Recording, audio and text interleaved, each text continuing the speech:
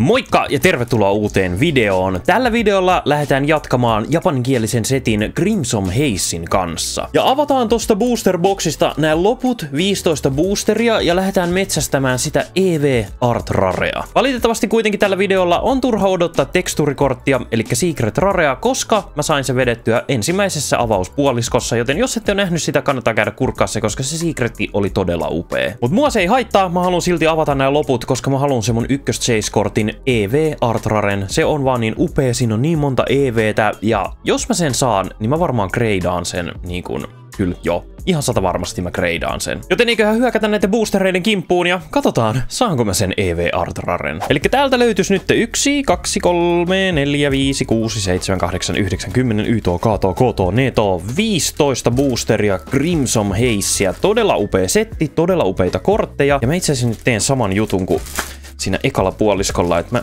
leikkaan tästä tällaisen ison nipun aina kerralla. Katsotaan, että nämä on tasan. Niin tosta Noin, ja toivotaan, ettei mennyt yhtään korttia. Jos meni, niin toivottavasti se ei ole just se EV. Mun tuurilla varmaan voisi hyvin käydäkin niin. Ja hyökätään tästä ensimmäisen boosterin kimppuun. Korttitemppu on yksi tuolta takaa eteen. Ja sieltä, oliko tämä nyt Girafarik tai joku semmonen kukkatyyppi? Torkoal. Omena, jolla on silmät päässä Uu, Zapdos Holo, onpas kiva muuten artti tästä Zapdoksessa. Ja ei muuta kuin seuraavan boosterin kimppuun, siis näitä japanisetteja on kyllä niin kiva avata. Vaikka näissä onkin vähemmän kortteja boostereissa, mutta kun Nämä on vaan niin, niin hienoja. Tämä japanin kieli sopii jotenkin niin hyvin näihin kortteihin ja mikä upea Snorlax. Tuolta kolmas boosteri, yksi takaa. Siinä on Perrin, josta löytyy todella hienoja kortteja. Oisin halunnut, mutta ei tullut. Mutta toki se mun secretti, mä oon niin tyytyväinen siihen, koska mikä tämä on? Onpas hölmön näköinen kortti, mutta toisaalta aika hauska ja hieno. Niin, sitä oli sanomassa, että olen kyllä todella tyytyväinen tämän boksin Secrettiin. Oli se ainakin kivempi kuin mikä tuli silloin Wild Forcesta. Siis, no itse asiassa tämän boksin Secret oli kyllä tosi kiva. Havlukka, öö, lelusammakko, Vulpix nukkuu, Screamtail Normi EX, Oi oi. Tästäkin muuten löytyi Secret ihan perus fullartti, mutta mun mielestä sekin oli itse asiassa tosi kivan näköinen.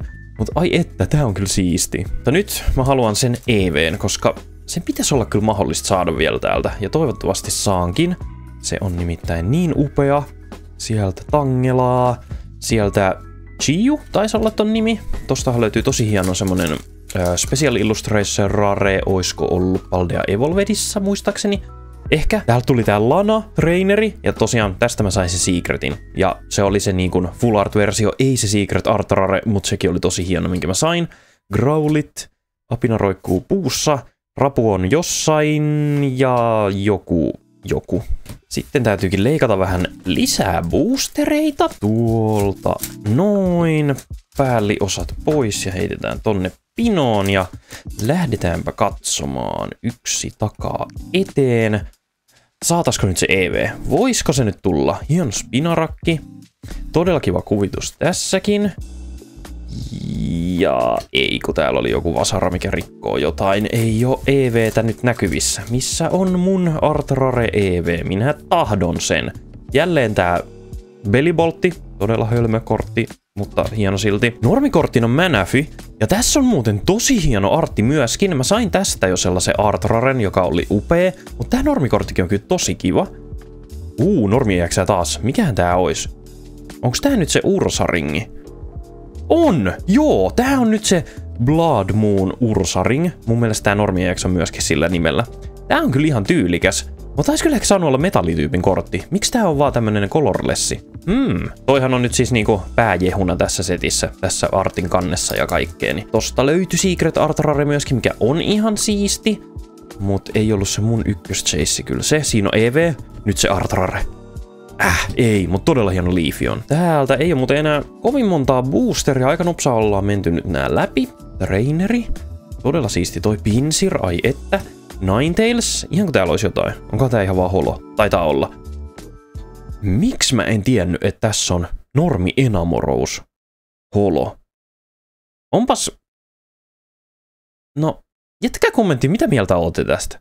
Tää artti on ehkä vähän... En tiedä.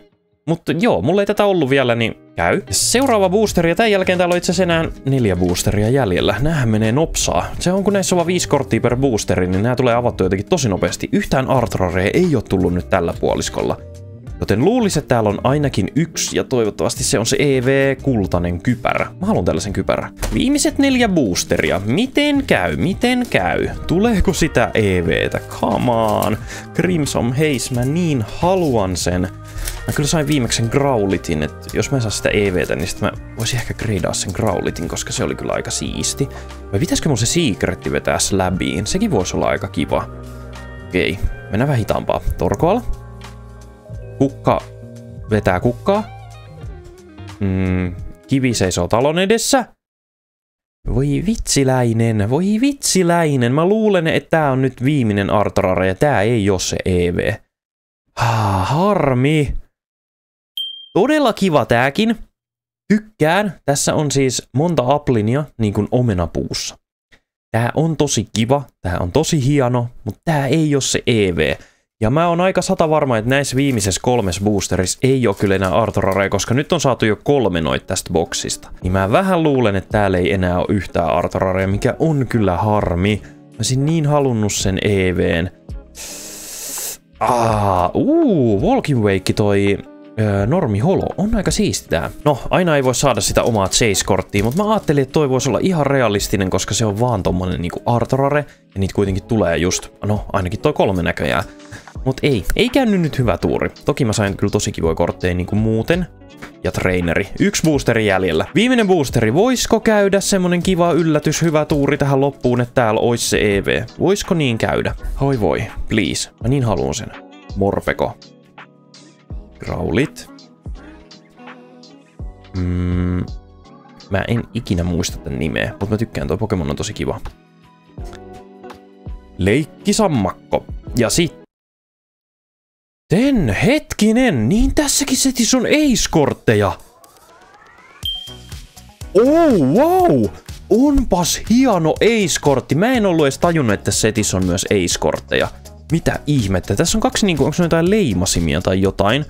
Tekstuuri, kiilto, kaikki. Wow, okei, okay, tää kelpaa. Todella kiva Last Back Magicki. Tokan puoliskon saldona kolme kappaletta holokortteja. Ei muuten tullut yhtään tuplaa holoissa, mikä on tosi kiva. Kaksi kappaletta normi EXiä, Screamtaili sekä toi Blood Moon Ursaring. Mun mielestä se oli sen nimi. Vai oliko tollakin nyt joku uusi nimi? Mun mielestä se oli Blood Moon Ursaring. Tai joku semmonen. Voin olla ihan väärässäkin. Sekä Applin Artrare ja sitten Ace-kortti. Mä en tiedä Ace-kortin nimeä, mä en ole ennen nähnyt tollasta, mutta tota, nää on todella kivoja. Todella kiva boksi. Mä voisin muuten itse asiassa näyttää tähän loppuun, koska mulla on edellisen avauksen kortit vielä, niin, niin kuin kaikki vedot. Okei, eli tässä olisi nyt kokonaisuudessaan tämän koko booster boxin kaikki vedot. Ja jos holoja ei lasketa, niin täällä oli 1, 2, 3, 4, 5, 6, 7, 8, 9 kappaletta vetoja.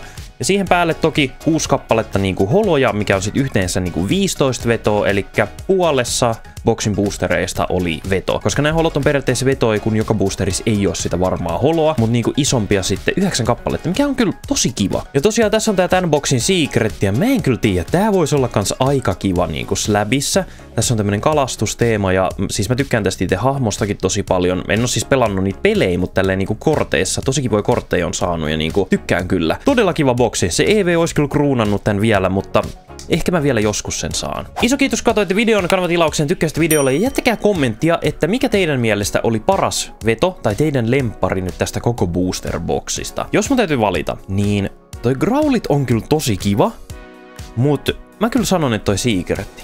Nyt mä menen ihan vaan, että toi Secretti, se paras kortti, niin kun oli mun lempari, koska toi on tosi hieno. Mä tykkään, kun tuolla on toi onkivapa tossa ja niinku, se on tosi siisti. Mut me nähdään sitten seuraavissa videoissa, joten ei muuta kuin moi.